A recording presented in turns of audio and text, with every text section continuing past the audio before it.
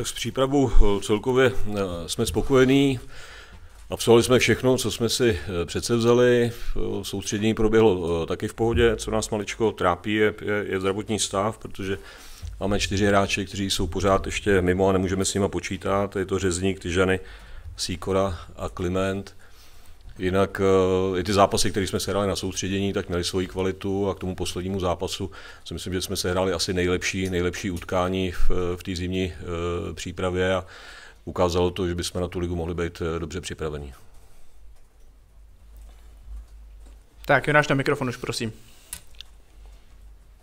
Ještě bych doplňující otázku na trenéra, jak to tedy s těmi hráči, které jste teď zmínil, že jsou mimo, vypadá, možná konkrétně u Honzy Sikory, který už s váma na přípravě byl a odehrál nějaké zápasy.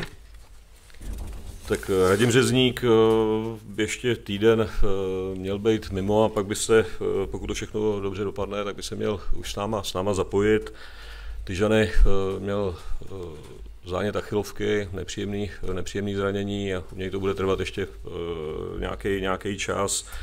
To samý Honza Kliment, který se zase na tréninku zranil a to jeho zranění poměrně, poměrně vážný. A bude to taky delší dobu ještě trvat, takže ten, než se zapojí, tak si myslím, že to bude, když to dobře dopadne někdy, někdy, někdy v únoru. A on za Sýkora bude hrál uh, jeden poločas na soustředění, uh, vypadal dobře, ale pak si stěžoval trošičku, že ho tá sval a na vyšetření se ukázalo, že tam má menší trhlinku, ale věřím, že to nebude uh, nic tak strašného, aby, aby byl delší, delší dobu mimo.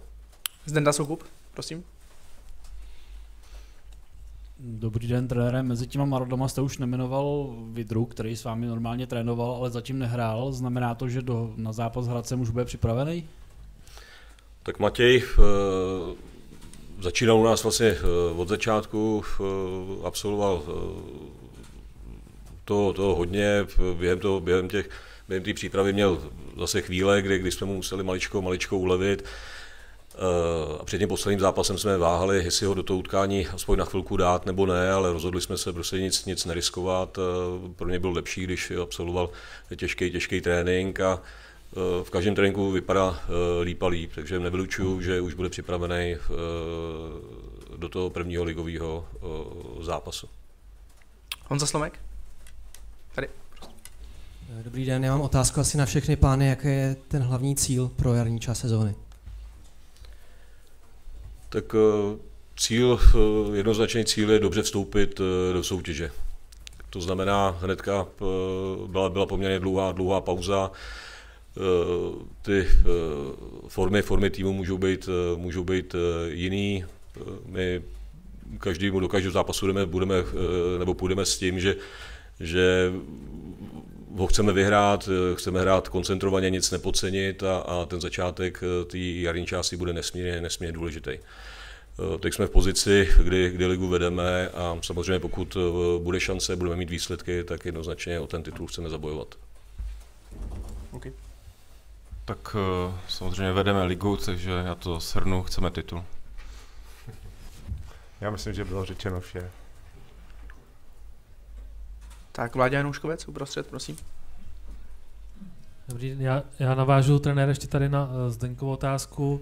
Jaká bude ta role Matěje Vidry uh, za už to se nějakým způsobem poznali za ty, těch pár týdnů. Uh, bude to útočník, který bude třeba se stane tím útočníkem číslo jedna, nebo spíš ze začátku uh, hráč, který bude střídat v těch zápasech? A jaká je jeho role v kabině taky? Tak uh, Matěj měl těžké zranění, 8 měsíců je mimo, takže nelze očekávat, že naskočí hnedka, hnedka od začátku, ale už na těch trénincích ukazuje svoji, svoji kvalitu, je, je, je silný, je rychlej. Eh, má dobrý, eh, dobrý zakončení, v té ofenzivě by nám měl eh, hodně, hodně pomoct. A když vezmu posta, post hrotového útočníka, tak tam máme z čeho, z čeho vybírat a bude záležet na aktuální formě hráčů. Jo. Matěj nehrál hrozně, hrozně dlouho a, a možná bude chvilku trvat, než se dostane do nějaké optimální, optimální formy, ale jo, na trénincích vypadá velmi, velmi zajímavě jinak, jinak do kabiny zapad úplně, úplně v pohodě. Jo, je vidět, je, je sebevědomý, má že, kariéru má, má, má výbornou, hrál dlouho, dlouho v Anglii, takže Jo, jsme rádi, že přišel, byť, byť přišel jako zraněný hráč, ale teďka už se do té do tý, do tý pohody dostává a věřím tomu, že nám v té jarní části hodně pomůže. Váďo. Tak je, ještě jednou na téma útočníci. Vlastně jste přivítali ještě jednu posilu v útoku, tak eh, jak na vás zapůsobil v té přípravě a může i on třeba si říct o nějaký výrazný počet minut na trávníku v těch zápasech. Teď asi při zranění Honzy Klimenta tu šanci dostane. Tak uh, je, je, je, je mladý kluk, uh, jako delší dobu jsme ho sledovali, věděli jsme o tom, že, že může být eh, zajímavým hráčem. Teďka vždycky, když nastoupil, tak ukázal, že, že, že je silný, má velmi dobrý pohyb, je, je rychlostně velmi dobře vybavený, i zakončení má velmi slušný a všechno bude záležet o tom, jak, jak dostane šanci, tak jak ji, jak ji chytne. Ale jo, je tady, je tady na hostování, já věřím tomu, že v té jarní části ukáže, ukáže svoji kvalitu. Jo, předpoklady má veliký, takže uvidíme, uvidíme, jak to bude. Ale já bych si hrozně přál, aby eh, prostě všichni hráči byli k dispozici, pak si myslím, že ten kádr je, eh, silný, škoda, škoda zranění Honzy Klimenta, protože eh, prošel si to hodně, už tady i na podzim měl dvě zranění, od začátku prosince se zapojil individuálně, pracoval, pracoval výborně, i na těch prvních trénincích Eh, vypadal, vypadal skvěle, ale bohužel přišlo další zranění, takže věřím tomu, že i kdy, eh, že až se uzdraví on, tak, eh, tak v té ofenzívě bychom měli být hodně silní. Jonáši? Ještě bych se zeptal naopak na, na zadní řady, jestli uh, tam nebude trošku problém s tím, že se vám tam nějací hráči zranili, nebo ještě nejsou k dispozici a zda uvažujete o nějakých pohybech v kádru, možná na trenéra a pak jestli Dan třeba to doplní. Tak eh, samozřejmě jsme se bavili o, eh, o té zadní, zadní řadě, protože eh, hlavně co se týče krajních obránců, tak my jsme jsme se bavili o tom, jestli bychom tam neměli uh, udělat, udělat uh, hráče, jestli bychom tady ten post neměli schválnit, protože Honza Sýkora je mimo, uh, Řezník je mimo, jo, takže nemáme tam nějakou velkou konkurenci, je tam, je tam Havel Sýkora, ale vrací se Jemelka, ano, počítáme s tím na post stopera, ale, ale v té podzimní části hrál je na pozici levého obránce a tam hrál většinu utkání tady v Plzni a, a vypadal výborně.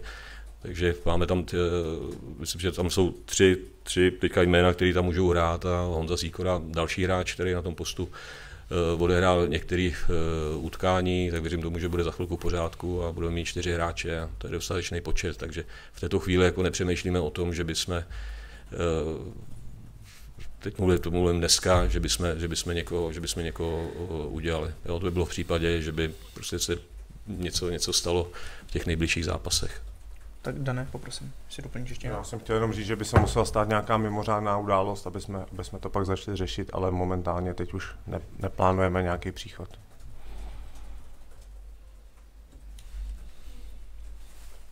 Bych asi nadaná, jak to vypadá s Fortunem Basy, myslí už teda, je, mu, je ta varianta, že by začal v Bčku. Tak Fortuna, Fortuna jsme vlastně brali na, na hostování s tím, že mu dáme šanci se ukázat a pak bychom případně uplatnili opci, ale uh, potom vlastně po té podzimní části jsme se rozhodli, že, že opci neuplatníme, to znamená, že jsme Ferenc Vároši dali najevo, že, že u nás už by tolik šancí nedostával a uh, mohli, můžou si ho stáhnout zpátky i vzhledem k tomu, že jsme udělali Matěje Vidru a, a Rafu, takže, takže Fortun je momentálně v Bčku a bude se dál připravovat s Bčkem. Tak Zdenda Sokol, prosím.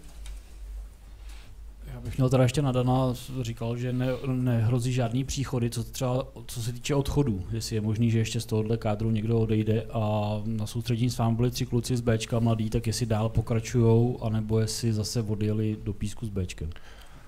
Tak kluci, kluci zatím, mladí kluci zatím s náma nebo s Ačkem pokračují v tréninkovém procesu, ale, ale samozřejmě je to tak, že, uh, že případně budou chodit za Bčko, a, a co se týče příchodu dovnitř nebo odchodu ven, tak uh, to si myslím, že by musela přijít nějaká opravdu zajímavá nabídka, aby jsme, aby jsme o tom uvažovali, ale zatím žádná taková není.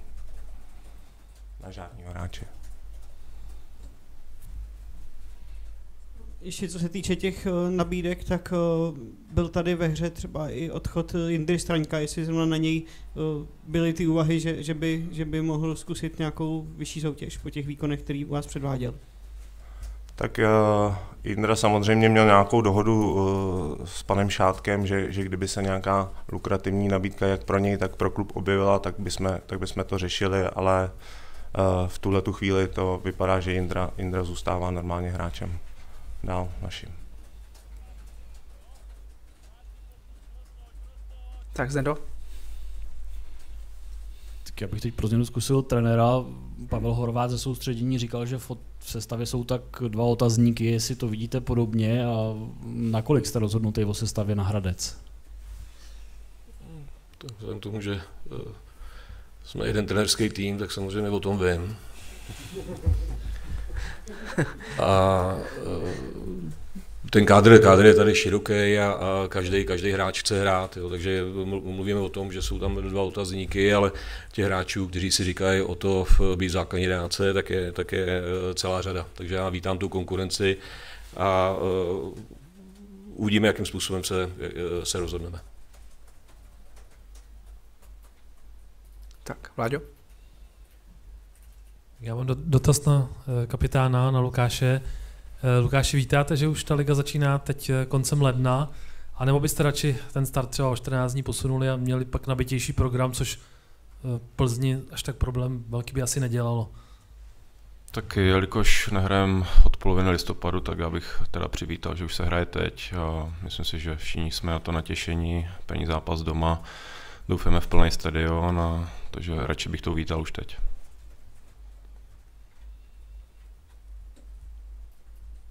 Tak ještě, Zenda? Tak já bych měl možná ještě na všechny teda, protože ta situace oproti Loňsku je obrácená. Tenkrát jste byli vy za Slaví a šli jste jakoby z toho druhého místa, jestli to nebyla malinko výhodnější pozice takhle útočit ze zadu a být v závětří.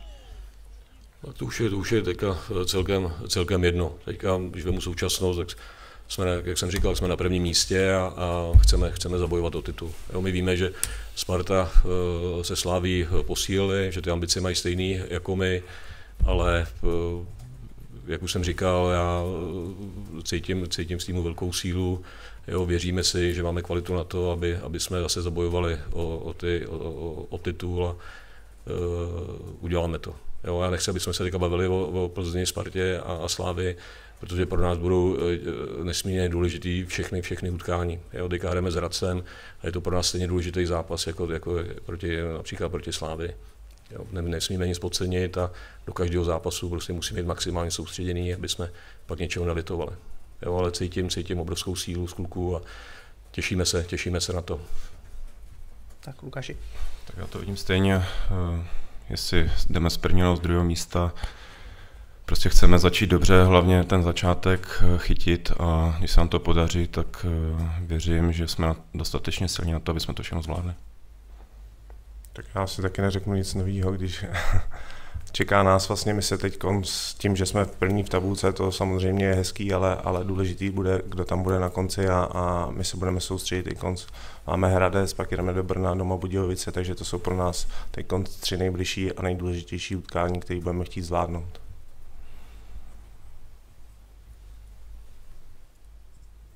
Ještě jednu Dana, jste říkali, že teď teda už rozšiřovat kádr neplánujete, ale už uvažujete třeba směrem k letnímu období právě vzhledem třeba k počtu hráčů v defenzivě a těch krajních obránců, o čem tady mluvil trenér.